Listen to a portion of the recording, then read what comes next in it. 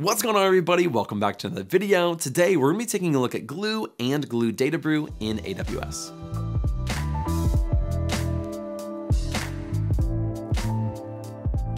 Now within the Glue umbrella, which includes Glue Data Brew, it's mostly for building pipelines and creating ETL processes. This is how you get data from one place to another. You can extract data, transform data, load the data, and do a ton of other things with it. So in this video, we're gonna take a look at both Glue and Glue Data Brew because they're slightly different and they have different purposes. So without further ado, let's jump on my screen and take a look. All right, let's go down here. We're gonna go down to analytics. Now we're going to be taking a look at both AWS Glue Data Brew and AWS Glue. Now we're going to start with Data Brew because I think it's a little bit more user friendly. There's some nice animations. The UI is really uh, a little bit, I would say, easier to understand.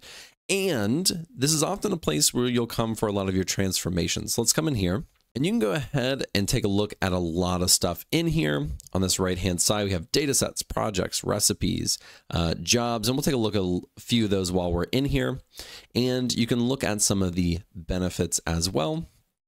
And uh, Glue Data Brew is awesome. It's very much a more visual way to prepare your data and even says it's a visual data preparation tool. And so it's a way to visualize how your data is changing. You can see how it's changing we are not going to just create a project. We're going to create a sample project. And this is going to give us some sample data. We're going to work with it. We're going to be cleaning it up, transforming it a little bit, and then we'll see how we can automate that as well. So let's go ahead and create our sample project. Let's go ahead and select popular baby names in 2020. And then we have to go down here and choose a role name. Now, we haven't talked a lot about IAM roles uh, within AWS, but for certain things like Glue, Data Brew, Glue, and a few other things, you need IAM access. So you can say create new IAM role, and that's what we're going to do. Let's go down here. And we need to actually create um, a new role for AWS Glue Brew service. So it's going to create it, and I'll explain that in just a little bit. We'll call this one Alex the Analyst, and I'll call it Data Brew. Let's go ahead and create this project. Now this needs to set up our session. It's provisioning some compute, getting our session ready, getting our data ready, all of these things in order to use Databrew. But while we're in here and while we're waiting for this to uh, be ready, I want to talk a little bit about the UI. So over here, we have something called a recipe. Now the recipe is for when we actually use all of these things and we apply different changes to the data set. We make any transformations, whether we join the data, we group the data, we pivot the data, it's going to say, okay, you did this and then this and then this and then this, and you can come in here and you can edit this. And so you can say, oh, I don't want to actually group it. Let me get rid of that. And that'll be really easy to do. And I'll show you that in a little bit. But then we can also save this recipe. We can just say, oh, I want to save this for a future data set. Or if you want to use that recipe on, you know, if you're bringing in multiple uh, data sets of the same exact data, or you have multiple uh, data sets coming in that are all the same, then you may use the same recipe on all of them to transform that data consistently every single time. Looks like our data is done, or our session is ready, but let's look at this top area. So this is where we can make all of our transformations. We can filter, we can sort, we can come in here and we can click on the clean and you'll notice there are tons of different options in here. A lot of ones that you should be pretty familiar with if you've ever cleaned data before or if you've ever done any of my projects in MySQL or Excel or Tableau or uh, you know Python and all these different ones on data cleaning. And these are a lot of really popular things in order to clean the data. so there's clean, extract, uh, you can look at duplicates, outliers. You can merge your data. You can perform functions. You can apply different functions to your data. We also have things like pivot, group, join, union, and others. And there's just a ton in here. Now, what we're going to do is first we're going to look at our data, and then we're going to go through and we're going to do a few changes to it so you can see how the recipes work, and then we'll save our recipe. So let's come in here. This is a new data set to both of us. This is our uh, baby names data. So we have count, we have gender, we have the ID, we have the name, and then the year. And so this is pretty interesting information. Let's see if it's all uh, 1880. This looks like just a small sample of the data. And we can come in here and we can also uh, take a look at what kind of data types they assigned to this data as well. Now, what we're going to do is something quite simple. We just want to look at the male names and we want to take a look at the most popular male names per year. So that's going to require a bit of grouping. So we're going to have to group on both the year and the name. And then we're going to have to filter based off of the gender. Now, one other thing to note is that right now we're just working with a sample of the data. When we actually get to the final process and we actually create this data cleaning process, we can apply this to the entire data set or we can apply it to the sample. So right now we're just going to be working with this sample, but we'll of course be using the full data set later on. And you can even come up here and you can look at this. You can say first n rows, last n rows, and random. Now, right now, we're just looking at the first n rows, the first 500 rows of our data set, and that may not be a perfect sample size. It actually may be better to pull random rows. Because what if we have uh, male or female or other things? Right now, it just looks like we have female in our sample, and that may not be representative of the entire data set. So let's come here to random rows. Let's choose 500. And we're going to load this sample. And as you can see, we do. We do have males in here. And so I'm really glad we did that because now we kind of have a better representation of our data. And so I think what we need to do, let's bring over our recipe. I think what we need to do, or what we're going to do, is one, I want to filter where the gender is equal to male. Then we're going to come over here and we're going to try to find the most common name per year. Or maybe we'll just group by the year and the name and do a count on the name. I think that would be really interesting. So we're really transforming it quite a bit. So what we're going to do is we're going to filter on this gender. So we're going to go over here to filter and we're going to go down to by condition. Now we want to say where gender is equal to male. So you can either do contains, and we can do contains an M, or we can say it is exactly. Either one of these will be perfectly fine. We're going to do that on gender right here. So we have 300 females, 200 males. We don't want the females, so we can get rid of that one. We're going to only keep the males. We can also enter a value in here, uh, but we don't need to do that. And so now this is ready to go. We're going to go down and we can either preview changes, but we're just going to go ahead and apply this. And as you can see right here in our recipe, it says under our applied steps, we have filter values by gender. We can either edit this or we can delete this. So at any time, if we want to change any of this, uh, we can do that. But as you can see in our preview, in our sample, we now only have 200 rows and it's all filtered by males. Now what we can do is we're going to group this data. We want to do it based off of the year and the name. So let's come up here. We're going to group and we need to select our columns. So we're going to start with the year and we're going to group by the year and then we're going to select the name as well. And we'll come down here and we'll say group by. But we also wanted, and you'll notice, we also wanted to aggregate these values. So we want the count. So what we're going to do is we're going to come in here and we're going to say, based off of the name, we want a count of the names for that year and name. So we're going to do a count here. And so for this new column, you can call it the name count, and that'll be perfectly fine. This is uh, just like an example down here, but it shouldn't be a string. This should be an integer. And so if we come down here, let's see, there should be some that have multiple um, higher than one, at least not in our preview but still we're working on a sample here. So let's go ahead and finish this. And now we have our data right here. Now, again, this is only working off the 200 rows. We could have 100,000, 50,000 uh, in our data. But we grouped off of the year, and then we grouped off of the name, and then we got a count of the name. Now, what we need to do is I also want to filter or sorry, sort on this year. And we can do that uh, just by sorting here manually. So we can come over here and it's just going to do this within our uh, window. But I actually want to apply a sort to here. So I want to do this ascending. So the smallest year to the largest year. We'll do this based off of the year. Then we'll come down here. We'll click apply. And now we have our years over here in ascending from smallest all the way down to largest. So now that we've applied all of our steps and really transform our data on our sample data set, let's go ahead and save this recipe. We're gonna go ahead and publish this so you can add some notes if you would like. We're gonna publish this. And so now we've saved that recipe. And in fact, if we come over here to recipes, you can see that we've saved this. So we have that available. And if we go back to our projects, we can come up here and we can create this job. So we're going to call this one the uh, name aggregator. This is the data set associated with it, and we can choose our output. So where do we want this output to be? Let's put it in S3. Uh, we can keep it right here. Let's go to our S3 location, and let's just put it in the Alex the Analyst bucket. Let's select that. And we have some additional options down here. So we have some advanced settings.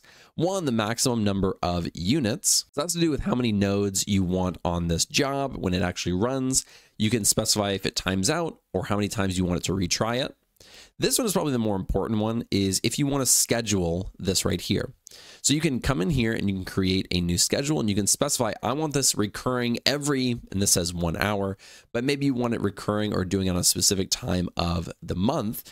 And you want to automate this and run this maybe every week or every month and get an output of the data that you have. So this can be really, really useful. You can add tags for permissions. We just need to specify our role and we can create and run this job. Now, it's going to take a little bit to run because it's going to be working in a much larger data set.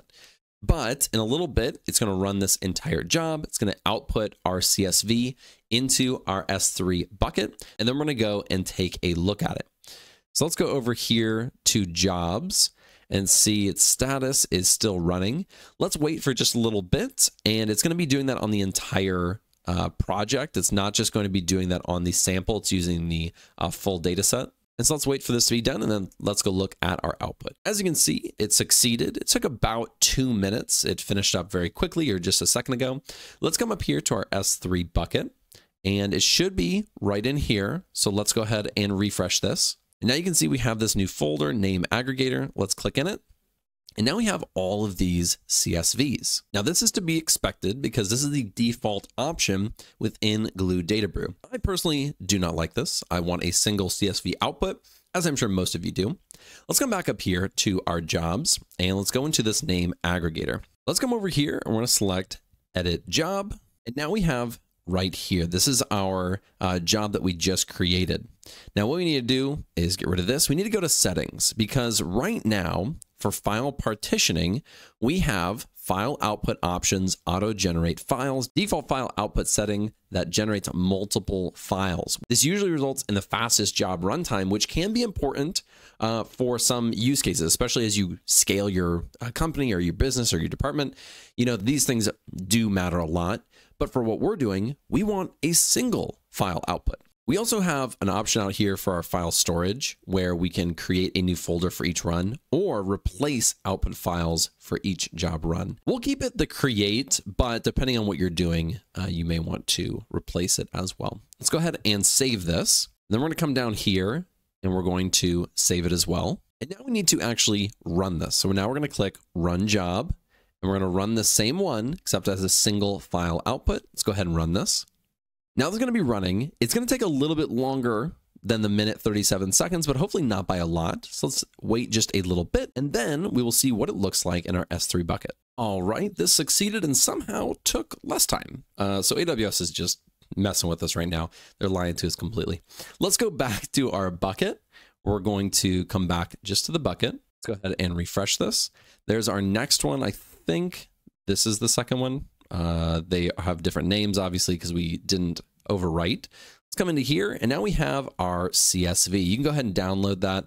And in fact, I'm not just going to tell you to download it. I'll download it too. So let's come in here. Let's go and download this. All right, let's open this up and let's take a look. So let's come over here. Let's filter this real quick because there's a lot in here, I'm assuming. Let's come over. And it looks like there's only one, only most common name per year. Uh, apparently, I completely misunderstood the data. Uh, this is probably what they did was they took they told us the most common year or the most common name per year, um, and I just wasn't thinking about it. So I think we misunderstood the assignment. Actually, you know what? I'll take the blame. I'll take the blame. I misunderstood the assignment, but we do have twenty five thousand seven hundred seventy nine rows. Uh, and so, you know, just a little example of how to use it, although I'm not an expert on that data set, so uh, I take full blame for that. But you can see the process that we took on how to clean the data, change the data, and get a correct CSV output. Let's go back over to AWS. Let's go back to our analyst bucket, and we'll stick right here for just a second. Now, one thing to note, and this is something that you may, some people may have encountered when they were trying to run this job it's, it may say, oh, you don't have access or the ability to do that. You may have gotten an error in some way. What you may need to do, and this is something that uh, my friend Kasoon over at Analyst Builder, he helped me understand. is that sometimes AWS doesn't give you full functionality until you have certain services running, like an EC2 instance. Now, we're not covering EC2 instances in this series, but you may need to come in here into the EC2 and you can just go to services, go make sure to go to EC2. And you may need to just launch an instance and just launch it. And what happened after I launched it was it sent me an email and said, Hey, you now have full functionality for different things. It's super easy. Just come in here, Make sure you select your uh, pair. You can just say you don't want one, and then you launch an instance, and that's it. And after that, you'll hopefully within a few minutes or you know within the day, you'll get an email saying you have full functionality. You may need to do this. That's just something I want to make mention of because I know I encountered that when I first did it. Now, I had never encountered this before because I've used it in a workplace where somebody already had all this stuff set up, right? We, this is a fully functioning production and development environment. And so I didn't have to worry about this, but this is a completely new account. And so this is a free instance. You know, you don't have to spend money on this because you get two EC2 free tier offers and you can use those and it should uh, be good to go. And you need to do that for what we're about to do in just a second. Um, but just wanted to mention this. So that is how you can use Glue Data Brew. Uh, and of course, I want you to get in here. I want you to take a look at a bunch of this other stuff. You can create rules as well for invalidating your data, and you can send yourself emails uh, if you know it doesn't look good. You can come in here and look at all your data sets that you have. This is the one that we were using, the dataset national baby names. And of course, you can always connect to new data sets. So if you want to come in here, you want to pull data out of an S3 bucket or from Redshift or you know other options within AWS, you can do that. So all really, really good stuff. Now, let's go back. We're going to go to all services and click up here. We are going to go all the way down to Glue. Now, here's what I'll say about Glue before we even click into it. Glue Data Brew is very visual. I think it's actually fairly easy to use uh, compared to Glue. Glue, I think, is a little bit more complicated. Um, not entirely, but it is. Um, and so let's look at Glue really quickly. Now, over on this left hand side, we have a ton of different stuff. Um, and we're not going to be looking at everything in here. I'm going to look at kind of the more important things, but we have something like a data catalog. And this we looked at in our lesson with Amazon Athena. They have the data catalog to set up your databases and tables and your schemas. And we had crawlers. Now, this is the first thing that we're going to look at within Glue, because this is how you can kind of automate pulling in data, getting the data types, and pulling in that data. And so it's really useful.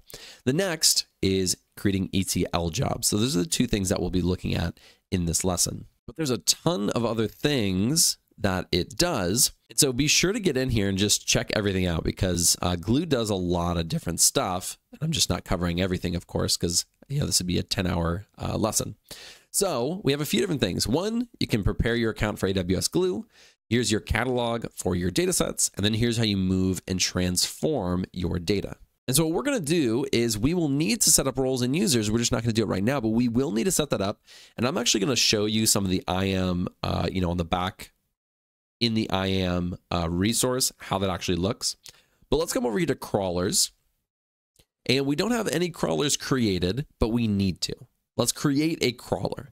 And let's create this, and we'll call this the uh, Alex the Analyst crawler example.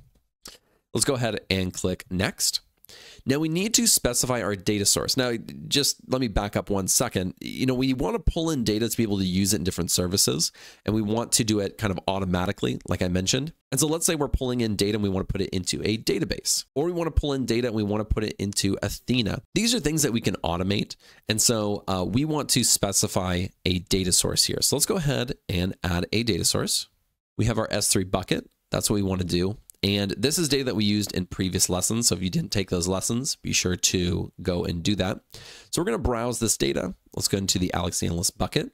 We're going to go into patient data. We can specify single files, but let me just tell you, it won't work. Um, and, you know, that's just because of how the folder system works within Glue. So we need to specify the entire patient data folder. Let's go ahead and choose this. And now we have on subsequent crawler runs, crawl all subfolders, subfolders only if you add new subfolders to your folder, then based off of an event. So an event would be like something triggering, and then you uh, it runs based off of that. So we're just going to do crawl all subfolders. Let's add this data source. Let's go ahead and click next. Now, this is the part where we need to select an IAM role. We don't have one. So let's go ahead and create a new IAM role. I'm to call this Alex Glue Crawler role. You can call this anything. Let's go ahead and create this. It says it successfully created it. Let's go ahead and view this. So now we're in a totally different part of AWS. This is the identity and access management. That's our IAM. So right here, we created an IAM role. This is the Alex Glue. This is the Alex Glue crawler role. And then down here, we have the permissions policies. So right here, this is going to be giving us access to, I believe, the S3 bucket. We can come in here and actually look at the policy. So the permissions are read and write on a specific uh, data source, and that's going to be our bucket with the patient data. And I think we can come up here to policy versions, look right here. And so this is what it looks like inside of it. Now, this is in JSON, and you can actually customize these and I'm not going to go into all how to do that but sometimes you need to depending on the data the data source if it's encrypted if it's not. Um, what permissions you want it to do. But what this is doing is it's allowing us to get an object and put an object in this specific resource. So that's our patient data. And that star is just a wildcard to say anything in that file path. So if we go back, and let's come back to this role, we also have this AWS Glue service role. Now, this one right here, we created when we created the crawler to specify the file path of the data set. This is AWS managed. This is one that AWS creates themselves, and we can look at all the things. Let me scroll down. We can look at all the things that it does uh, for that AWS Glue service role. Gives us access to a ton of things for EC2 instances, S3, everything within Glue. And we can come down here and take a look at the buckets, the access to S3, as well as a bunch of other stuff. And so this is what the IAM roles look like. And you can create custom policies uh, if you want to, and you can give access to different things. And so, again, we're not covering this entirely in this lesson because this is not a lesson on IAM roles, but I think it is interesting and worth uh, worth knowing. So we've created our role. Let's go down over here. Let's click next. And now we need to specify where we're going to be putting this. So we're going to put this data in our healthcare data. So this is our healthcare data again. We already had created this database back in our Amazon Athena, and we have the option to uh, create a table name prefix or choose the maximum table threshold. For the prefix, let's just say uh, crawler. There we go. And now we have this crawler schedule down here. Now you can do it on demand or you can specify whether you want a specific day of the month, whether weekly, daily, monthly, whatever you need, you can create this uh, scheduler in order to run this crawler. Let's go ahead and click next. And let's just review this real quick. This is everything that we chose. We're gonna go ahead and create our crawler. So now it says one crawler was successfully created. It's this one right here, Alex the Analyst crawler example. And uh, it has not run yet. So we have no crawler runs, but let's go ahead and run this crawler. So now we're going to start the crawler. It's going to start up this that we just created to pull in that patient data. And once it is completed, we're going to go take a look at it in Amazon Athena like we looked at in a previous lesson. So right down here, it says it's running. So once that's done running, we're going to take a look at that data. All right, it says that was completed. Now we can come back here to the data catalog connections. Let's go ahead and refresh this you can see we have our crawler. That's our uh, prefix that we use. And we have patient data. This patient data and patient data 2 were data catalogs and part of our data catalog are tables that we created in Amazon Athena. Now let's come up here. Let's just duplicate this really quickly. We're to go back to Amazon Athena. Let's see if it's right here. So here we go. We have Athena. And now we can access that data right here. So now if we want to, I can say uh, let's just preview the table. It's running and we have our data in here. And so this is perfect. Um, if you remember, we had our patient data and patient data 2.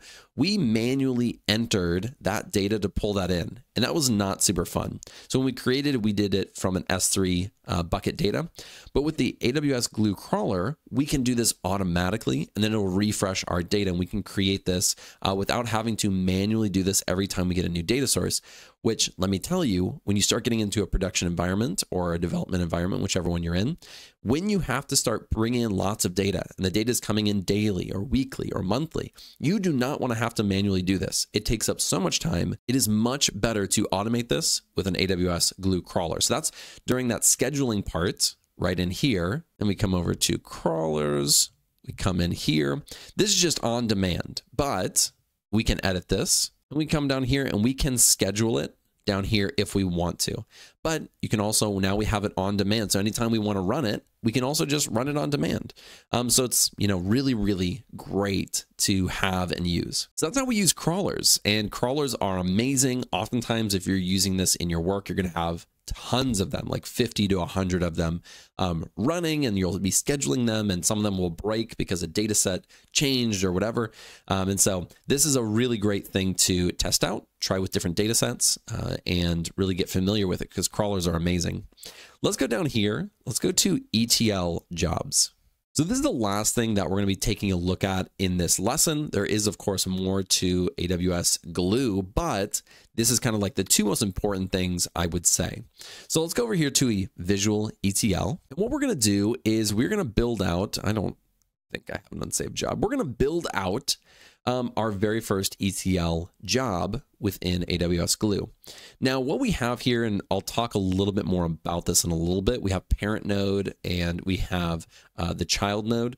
I think it's node, uh, if that's the right term, but we have parent and child uh, different nodes that we have in here, and we need to make sure we chain them properly. Now, luckily, we have this ETL visual tool, and that's what we're in right now, so we'll be able to see what we're doing when we're in here. Now, let's come over here and let's go back to our sources because we have to have a source to start out with. So let's go to Amazon S3 and we're going to click into this Amazon S3. So we're going to pull data from our Amazon S3 bucket. We need to specify our location and we can either make it recursive or not recursive. And I'll explain that in just a second. Now, let's come in here. We'll go into our bucket. We'll go into our patient data. Now let's specify just this first file here. We really don't need recursive because we don't have any sub directories. So we can turn that off or we can keep it on. We also have a data format. The, our data format is not uh, no format. We have a CSV format, which is comma separated. Now what it's kind of prompting us to do down here, and I highly recommend doing it, is getting a data preview. So we can see the data as we're transforming it and changing it. So I am going to come in here and I am going to specify this role that we had created earlier. And we're going to start this session. This could take just a little bit of time, but we're going to get a data preview down right here at the bottom. And now our data preview is ready. We're looking at uh, this file right here. Next, what we're going to do is we're going to come over here to add a node. And we're going to go to transform and we're going to join. Now, we have to specify uh, a few things here. One, we can name this, so it's just called a join. Next, our node parent. And this is what I was talking about before with the parents. So this parent is our first data source, which is just called Amazon S3, which we could change. We can come in here. We can call this uh, patient data one. We can call this patient data one. Then we'll come down here. We can go to the join. And notice if you come in, in here, we only have one data source. So we need to specify a second data source. Let's come back out here.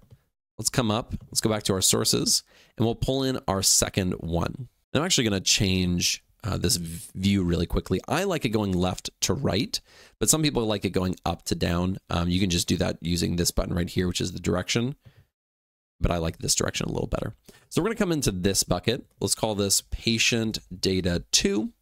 And let's specify our other patient data, which is our second, which is number two, which actually says file one in it, but you know, just ignore that. Okay. Um, but we are going to do that right there. We already have our preview. And now we need to go back to our join and specify these are the two things that we are joining together. Now, if we do uh, an inner join, it's not going to work because these data sets are extremely uh, familiar. In fact, if we come in here and look at the data, there aren't any patient datas to join on or patient IDs to join on. Um, they're all unique. And so what we're going to do is we should actually be doing a union here. Let's actually get rid of this. You know what? that was my mistake. Let's go to transform. Let's come down. Let's find a union, or let me search for it. So I'm going to do a union. So we're going to do a union right here. There we go. And let's go into our union, and we're going to specify our parent nodes. We have boom and boom. That's one and two. And it's going to be working on this data preview. There we go. Let's scroll down a little bit. And now they're all in there, which is perfect. That's exactly what we want. File one and file two, which is actually file one and file two. So we are good to go. This is looking really, really good. Let's come back here and let's take a look at what comes next. So we've uh, created our sources. We had two data sources. Let me pull this over here and I can't pull this over anymore. Um, but we have our data sources. And again, you can pull this data in from anywhere. We've done one transformation. Now we can do other transformations as well. We can even write a SQL query. We can look at uh, filling in missing values if we need to. We can aggregate our data drop duplicates. These are a lot of the different things that we looked at in Glue Data Brew. Um, and there's even more options uh, in here as well that are kind of unique to Glue. But Lastly, what we need to do is then we need to specify our target location. Where do we actually want this data to go? And so we can put it into things like an Azure uh, SQL database. It could go into Snowflake. It go into a SQL Server, Postgres, MySQL, Redshift, or we can just put it back in an S3 bucket, which is by far uh, the most simplest thing you can do. We could also take this data and put it into the Glue data catalog. And so if we want to use this in Athena, we have a much you know bigger process, and then we want to put it into uh, or query that data in Athena, we can do that. So there's a lot of different places and things that we can do. Let's just come back and put it into an S3 bucket because that is going to be the simplest thing to do. So we have our process, and there at the very end, we're going to put it into a CSV file. We don't need any type of compression here. But uh, we do have an option, data catalog update options. Let me zoom in while we're here. We have our data catalog update option. So we can create a table in the data catalog on subsequent runs, update the schema and add new partitions, or we can create a table in data catalog and on subsequent runs, keep existing schema and add new partitions. So I'm going to click on this one right here and we'll specify our database. That's going to be our healthcare data. Our table name, we'll call this one uh, the ETL, I'll do underscore patient underscore data. And then we'll come up here for our S3 target location. So we're going to come back. We'll just place it in the Alex the Analyst bucket. Let's go ahead and choose this. And we have a fully functioning ETL process. We took two data sets, we union them together, and then we have our output. And of course, we can see every step of the way uh, what we're doing here. Now, if we wanted to, because uh, we already have this full process, right? If we wanted to, what if we wanted to add in an extra part? Let's say we wanted to come in here and we wanted to transform this union. Let's do an aggregation. So we wanted to perform an aggregation on this. So let's go to aggregation. Now, this doesn't look right, right? We can't union it and then aggregate it and also send it out. Well, we can, but it doesn't really make sense for what we're doing. So what we're going to do is let's say we want a union on maybe a diagnosis and look at the average age or maybe a treatment, uh, could be anything. But let's come down here. Let's click on this aggregate. What we want to do is we want to put it where this is its parent. And then for the S3, the new parent for this is going to be the aggregation.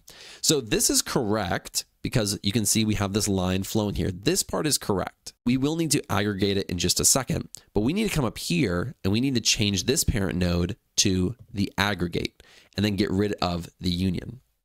And so now we've changed our workflow here. We've changed the ETL process. So now we need to go to aggregate. Now we're going to come over here and we need to be able to aggregate our data. So you have to uh, select the fields to group by, and we have to perform our aggregation on a specific column. But when we come in here, notice all of these are string. We have string, string, string, string, and string. And that's not correct. Uh, that's actually incorrect. What we need to do is we need to come in here and after this union, we need to add an additional step. That's going to be our change schema. And then we'll select this aggregate real quick and we're going to put it on the change schema. There we go. So we're just adding multiple steps here, but we need to specify what our data actually is. And we can see when we make the change what will happen. So we can keep this or we can make this an integer. The uh, name is going to be a string. The age needs to be an integer as well. We have string for both of these, and then a file needs to be an integer. And so this is looking really, really good. Everything should be working properly. We shouldn't have any mistakes. Um, oftentimes it'll you know show all blanks if you're doing something wrong. So now we can come over here to our aggregation and say we want to do this based off of the diagnosis. Then we come down to here. This is the um, aggregation. Which field do we want to aggregate on? It's going to be on age. And we'll just do, let's do an average. Just keeping it simple. So now this is good. And we can even take a look at this right here. So this is our data that we're going to be outputting into a CSV file. And then for our data target, we've already specified everything that we need. And of course, creating the data catalog as well. So this is ready to go. Let's go ahead and uh, let's go over to job details just really quick. We want to change this. We're going to say uh, first ETL. There we go. We can come down here and there's a few different things that you can change if you want. You can change the type of job that it's going to be. You can change the glue version, the language, the worker type, a bunch of different stuff in here, but I don't recommend uh, you doing any of that if I'm being honest. The other thing while we're in here, and I'm just going to mention this, although I'm not going to show this to you uh, because this gets quite complicated. I do cover this in the AWS and Azure course on Analyst Builder but it gets a little bit complicated in here. But this is the code that's being generated from your visual. So this visual is actually writing uh, to a .py file. Now you can get in here and change a lot of things. Um, and actually it's helpful if you want certain functionalities to get in here and change these things. But we're not going to be doing that in this lesson. I just wanted to show this to you. If you want to edit the script, you won't be able to use the visual ETL anymore because that's for kind of simpler visual things where you're doing it exactly how they have it kind of made for you. But if you want to go and start doing custom things, which you can do, and it's pretty awesome, you're just going to have to confirm this and then you won't be able to use the visual anymore. So just be warned uh, that is uh, that is something. So job has not been saved. Let's go ahead and save this. This is our first ETL. We successfully created this and now we need to run this. So let's go ahead and run this go to our run details. This process is running and we had multiple steps of our first ETL uh, job that we created. Now we're going to let it run. And then when it's done running, we'll take a look at the output. It looks like our run failed. This happens. Let's see what actually occurs. It says an error occurred when calling the .py write dynamic frame access denied. Um, so let's go back. Uh, let's go to visual. Let's go see which role we actually took, or maybe uh, that's in a different place because maybe we need to go to the IAM and give uh, different uh, different options here. And here we go. So now we have this AWS uh, Glue service role. Let's come over here. Let's go in and actually look at this Glue crawler role. Maybe we'll give it admin privileges uh, just for this example, that you probably wouldn't do that in real life. But let's go over to uh, let's go let's go over to the EC2 because we don't need that one. Let's go to the IAM. So let's go back to all services. It should be right over here. Yep, in the security identity compliance. Let's click into here. Let's go to our roles. And it should be this Alex Glue crawler role. Let's make sure that's the right one. Alex Glue crawler role. So let's go into this Alex Glue crawler role. It's tough to say.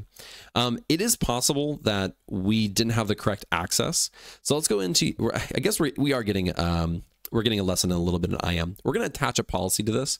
We're just going to give our guy straight up admin access. So we're going to say uh, admin. Now there's a bunch of different admins in here. There should be one just says admin full access.